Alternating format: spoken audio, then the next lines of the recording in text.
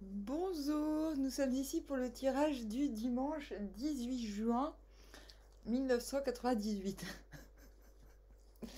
Mais non 2023, voyons. Je suis complètement foncée. euh, Je reçois des orgasmes toute la journée. euh, J'en peux plus, quoi. Bon, alors. Enfin, c'est réciproque, hein, j'en envoie aussi. Alors, qu'est-ce qui va se passer demain? C'est ouf, quoi.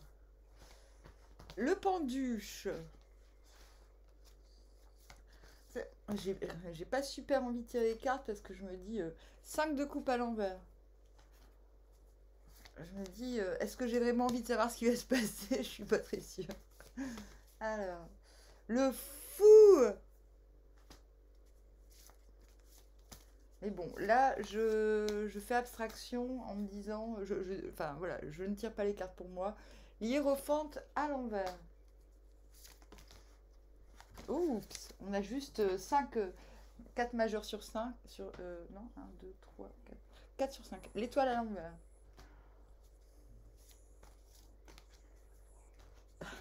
Et l'empereur. Le retour de l'empereur. Nous venons du 3 de pentacle à l'envers. Nécessité de nourrir des liens. En fait, on a une petite histoire. 3 d'épée. Euh, voilà, on a eu le cœur euh, brisé et ce qui nous a obligé à ouvrir ce cœur. On a eu le cœur déchiré, le cœur. Alors, c'est pas forcément, euh, c'est pas forcément arrivé hier. hein.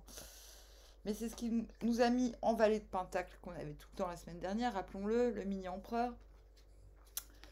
Et du coup, trois de Pentacle à l'envers, nourrir les liens pour faire quelque chose d'excellence. Je valide, c'est exactement ce qui s'est passé, vers où on va. Le 7 de baguette à l'envers, j'irai jusqu'au bout, quoi qu'il arrive, quoi qu'il advienne. Très bien. Donc le penduche, c'est bien, on démarre, on est soi-même, on sait qu'on va crever, donc on, se lâche total. On sait qu'on n'a pas toutes les réponses, qu'on les aura, mais en même temps... Non, tu fais exprès là. Non, non, non, non. Tu mets pas ton petit cucu sur les cartes. Allez, tu descends. Hop, c'est bien. Euh, voilà, on sait qu'on n'a pas toutes les réponses, mais on s'en foutre. On s'en foutre. Et euh, qu'est-ce qui nous emmène vers l'hiérophante à l'envers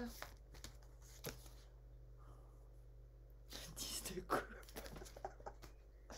Le 10 de coupe Oui, je vous le dis Je vous le dis, quoi Merde Si vous- je ne sais plus qui a dit, et désolé si j'ai pas retenu, j'ai vraiment eu très peu de temps à rester devant l'ordinateur, je me souviens des messages, mais je me souviens plus de qui a dit quoi.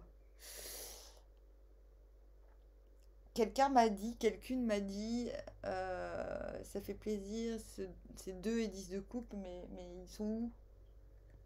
Purée, ben il faut m'appeler quoi.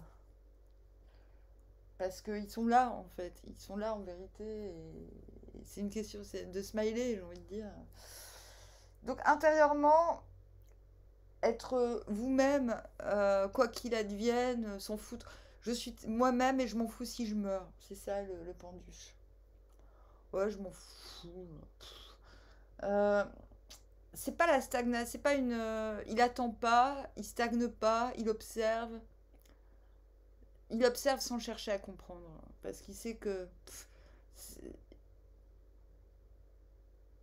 il cherche pas à comprendre. Mais il observe. Il sait que, que, que- des choses vont se révéler et que ce sera tout bénef pour euh, sa tronche et, voilà quoi. Euh, intérieurement 10 de coupe. Vous- en fait, c'est comme si vous vous, vous disiez c'est du lard ou du cochon? Parce que franchement, je sens un truc méga cool là. Méga cool. Et du coup, c'est le 10 de coupe qui vous met euh, euh, Excusez-moi, j'ai mangé des noix et ça s'est bloqué dans mon appareil dentaire.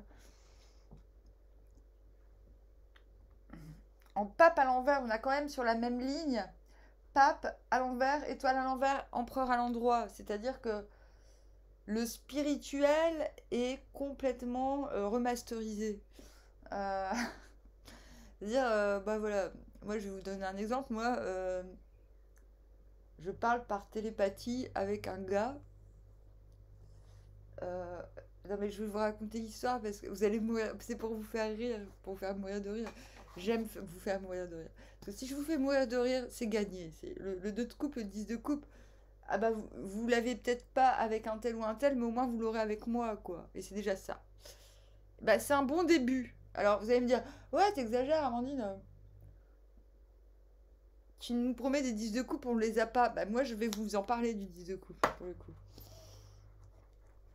Alors qu'est-ce que je voulais vous raconter? Le mérovingien. Non, mais moi, en, ce moment, tous mes rêves se réalisent. C'est un truc de fou, quoi. Bon, en même temps, j'ai des rêves très spéciaux, quoi. Donc, je veux un garde du corps, je rencontre un boxeur, champion, triple champion du monde. je veux à tout prix parler néerlandais, mais je trouve pas le temps. Je rencontre un néerlandais qui est amoureux de moi depuis super longtemps, mais que j'étais pas au courant. non, mais attends.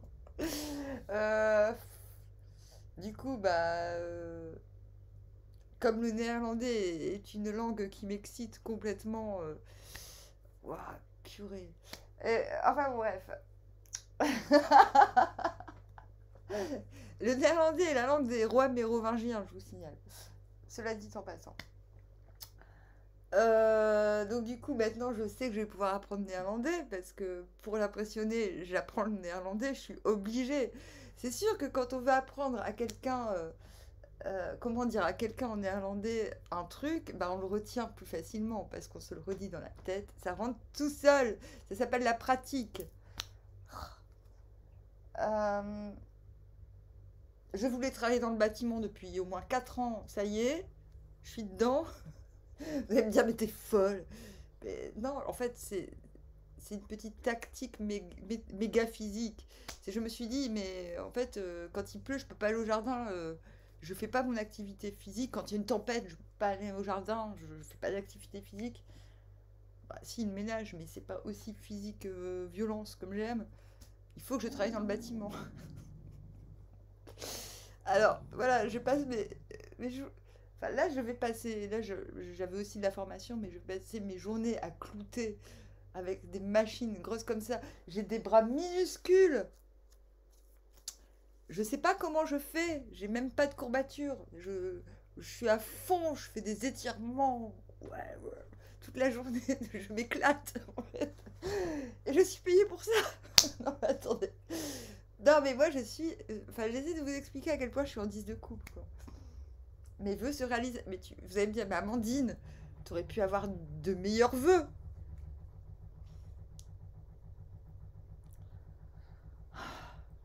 vos gueules. non, mais voilà. Non, mais il y a des trucs comme ça. euh, Enfin, on peut avoir des, désirs simples, des plaisirs simples dans l'existence. En fait, c'est des trucs. Ça prévient. Enfin, on n'y peut rien. Il y a des trucs. On se dit, il me faut ça. Je sais qu'il me faut ça pour que ce soit parfait. C'est ça. Ben, moi, je suis dans ça en ce moment. C'est-à-dire que ce sont les désirs, on va dire, qui étaient euh, légitimes, on va dire.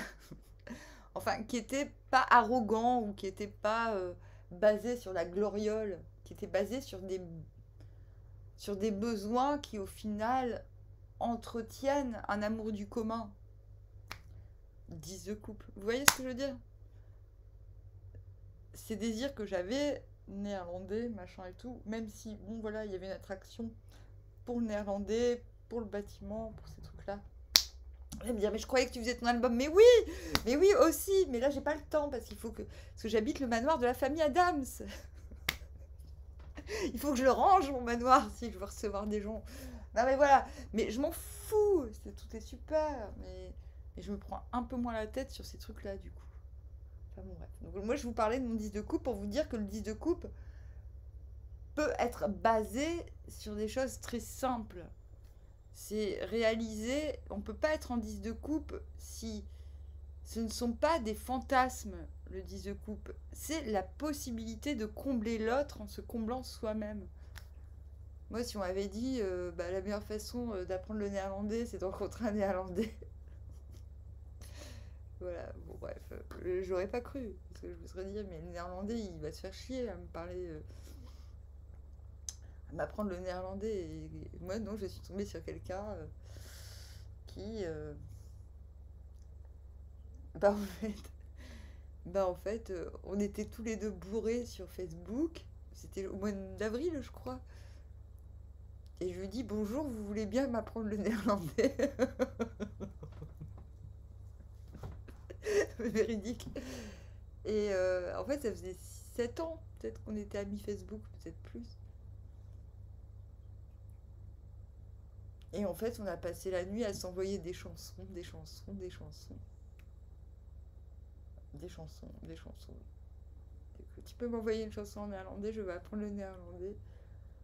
Et voilà. Et en fait, euh, bah, c'est parti en couille. Voilà. Et le mec, il est comme moi. Moi, je vis avec des chiens, lui, il vit avec son chien. Euh, on n'est pas si loin. Et puis, puis il s'est retrouvé à l'HP parce que je pense qu'il a pété un plomb. mais c'est peut-être à cause de moi, j'en sais rien. En tout cas, on est dans la même dynamique. euh, Il savait pas que j'avais, qu'entre-temps, je, m'étais engagée euh, dans le bâtiment. Lui, il, s'est inscrit dans une salle de gym. en fait, on a une vie parallèle similaire. Et euh, voilà, non mais c'est trop mignon, quoi. Et euh, voilà. Donc, c'est ce 10 de couple dont je vous parle, moi, je vous donne des exemples. Ah non, mais parce que moi, mes collègues, mais laisse tomber, quoi. Genre, hier, on se retrouve dans un sas de sécurité parce qu'ils nous ont fait faire un éthylotest. Parce que, quand même, ça craint d'aller dans des. Dans, de travailler avec des grosses machines. euh, euh, si t'es alcoolique, alcoolique égale, je peux pas me passer d'alcool, je bois toute la journée. Et moi, je dis Ah, mais j'ai bu une bière hier Et tout le monde était mort de rire. Mais disait, Mais Amandine, et je fais, mais on- et si les- l'éthylotest il fonctionne Parce que moi je, bois- je suis loin de boire tous les jours. hein. Enfin, si, je peux avoir des périodes où je vais boire euh, pendant deux semaines, euh, tous les soirs pour m'endormir, parce que c'est des périodes où j'arrive pas à dormir. Mais après, pendant trois mois, je bois rien et je me tiens très bien. Là, j'ai retrouvé le travail, une activité régulière, du coup, bah, ça m'excite le soir, j'ai envie de faire plein de trucs et je me dis merde, faut que je me lève tôt demain. Allez, je bois une bière. Voilà. C'était dans cet esprit-là, mais quand même j'ai eu peur. Et du coup, pendant qu'on est dans le sas, pour attendre de chacun faire les études le test, on est là comme ça avec mes collègues en train de parler. et Tout. On est... C'est trop des chouchous, on est trop des chouchous. Et, et, et il n'y a, personne qui a le même âge, mais et puis à un moment, il y en a un qui dit à quelqu'un Ah bon, t'as quel âge toi? Ah, puis toi, t'as quel âge Puis quand je dis que j'ai 42 ans, mais stupéfaction, ils sont comme ça. Oh et, et- c'est vrai? Et puis ils se regardent tous, de rire, ils étaient convaincus que j'avais même pas 30 ans. Mais c'était rigolo. Et sur le coup, j'étais un peu gênée. Je me dis, euh, ah ouais, bon, bah maintenant, ils... en fait, ils étaient sympas avec moi parce qu'ils pensaient que j'étais la Jones. Alors que je suis plus vieille, vieille qu'eux, je pourrais être leur mère, quoi. Et en fait, pas du tout. Ils- Après, ils n'avaient pas changé de comportement. Mais en fait, ils étaient juste hallucinés. Ils m'ont dit, mais c'est incroyable. Tu, tu, tu- Pour eux, j'étais quelqu'un de juvénile. Et du coup, bah voilà, c'est comme si on avait tous 12 ans. On avait tous... euh, a ri, on a rigolé. euh, et en se disant, mais en fait... Et on, a... On a joué au jeu, bon, bah toi, tu me donnais quel âge? Toi, tu me donnais quel âge? Et il arrivé un truc effarant. Dans ma promo, entre guillemets, il y a une nana qui a trois enfants. On s'aime bien, on se fait des sourires. Je lui ai ramené du, du de menthe.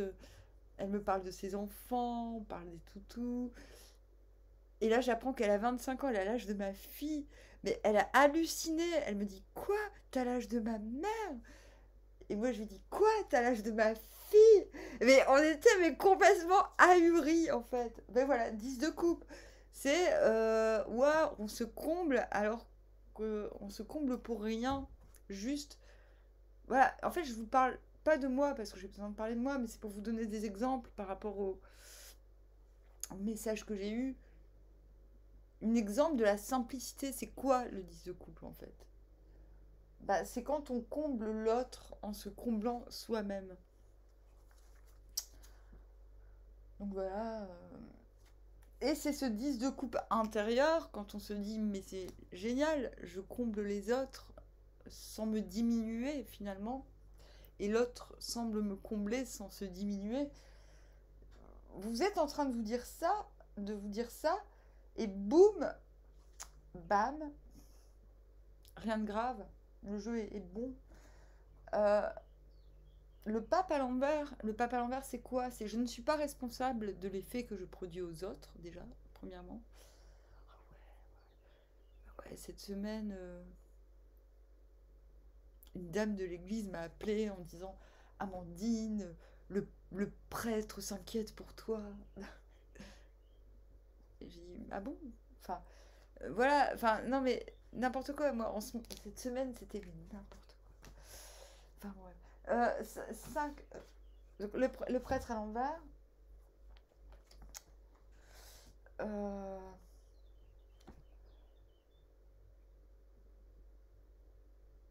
c'est je, je, ne suis pas responsable de ce que les autres ressentent.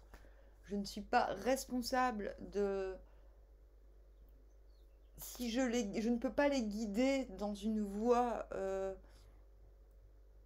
communément acquise euh, d'un point de vue spirituel, on est bien d'accord. On a sur la même ligne le pape à l'envers et l'empereur. C'est-à-dire, il y a clairement l'idée que spirituellement, on se détache d'un dogme, de quelque chose qui nous faisait euh, croire. Alors, pour aller vers des choses beaucoup plus concrètes. C'est-à-dire qu'on a face à face, presque face à face, cette deux demi à l'envers, le pape à l'envers et l'empereur à l'endroit. C'est-à-dire que on va changer de dogme pour matérialiser la substance, en vérité. Donc, cette deux pentacles à l'envers, euh, cette deux pentacles de pentacle à l'envers. Euh, on se dit, bon, c'est quoi mes priorités pour que je me sente bien à long terme et non pas euh, là tout de suite, maintenant, tout de suite? Mais ça, c'est que l'intérieur. On se dit maintenant que je sais que ça va être plus compliqué que prévu, parce que c'est ça, hein, le pape à l'envers, c'est ok, ce que je vais proposer aux autres ne sera pas ce à quoi ils s'attendent finalement. On est dans le général, je ne peux pas me permettre de donner plus de détails. Donc intérieurement, demain, vous allez vous concentrer, surtout que c'est à côté du 10 de coupe, sur qu'est-ce qui va permettre à ce 10 de coupe de perdurer dans ma vie à moi déjà. Cette de pentacle à l'envers. Qu'est-ce que je dois prioriser pour pas me sentir euh, en danger de manque, j'ai envie de dire. Du coup, 5 de coupe à l'envers, on regarde en arrière, hop, rétroviseur. Vite fait, bien fait. Qu'est-ce qui nous mène? Ouais, c'est ça. Pour certains, ce sera l'aspect matériel qui, qui pêchera le diable. Tentes, tentation. Euh,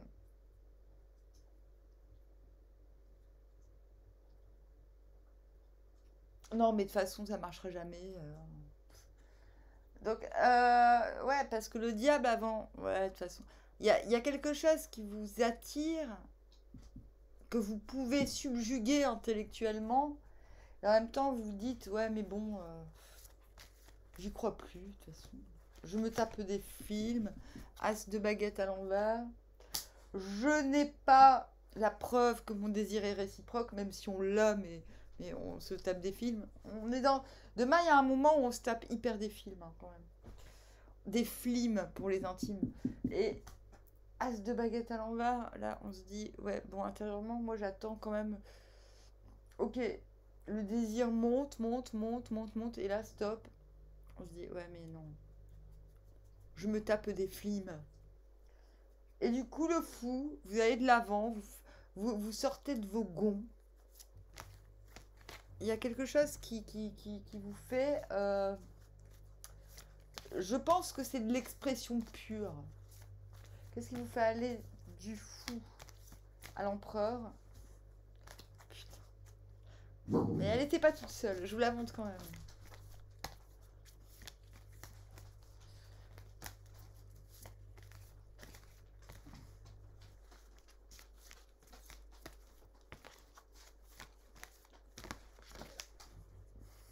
Le 6 de coupe.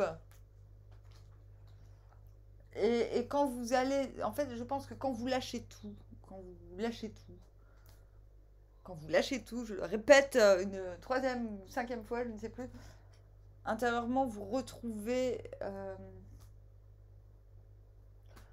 Intérieurement, vous êtes bien. hein. Oui, il y a des, des choses matérielles sur lesquelles il faut pas se laisser euh, dévier. On veut pas perdre le contrôle sur les événements. euh, on veut pas se retrouver euh, à la rue non plus, quoi. Il y a un petit côté comme ça.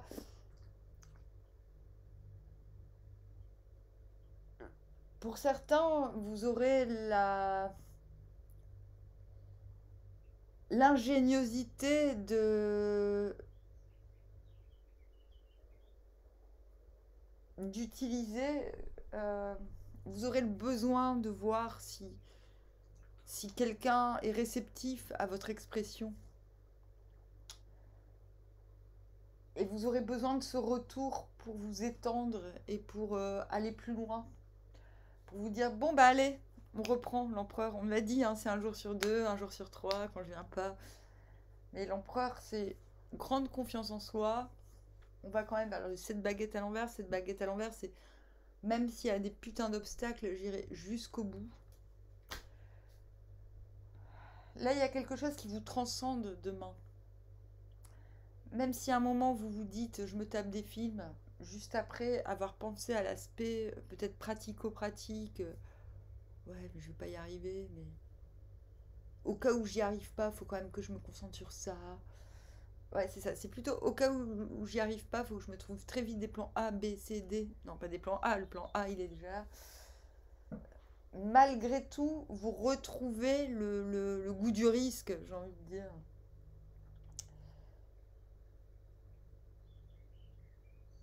Malgré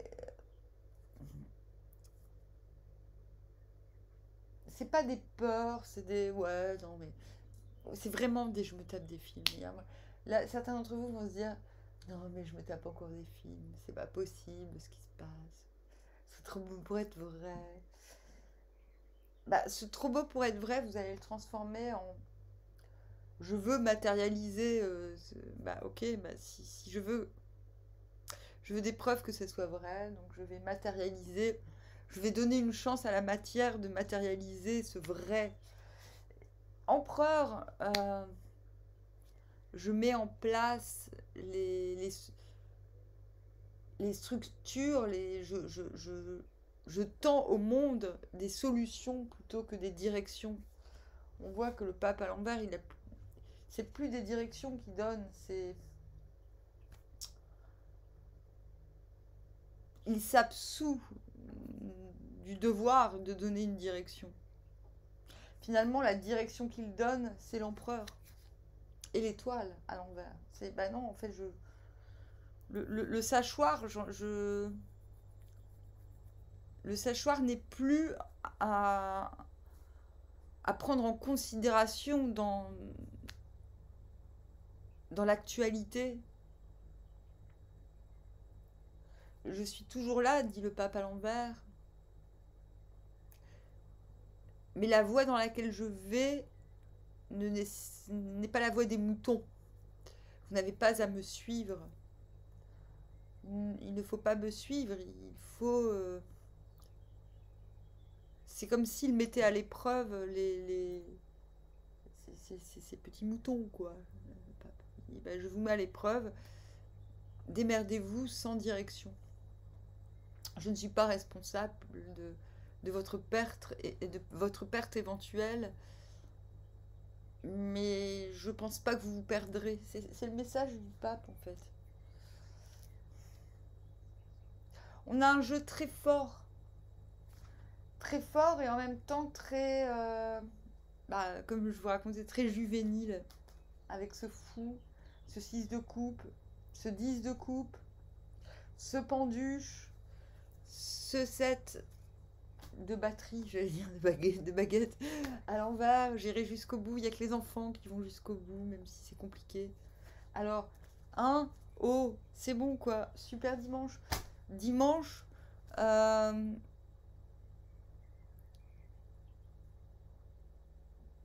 dimanche un peu casse-cou. Dimanche casse-cou, mais pas casse-couille. Allez, je vous dis armoire, à bientôt. Ah merde. Mais j'ai pas appuyé sur... Euh,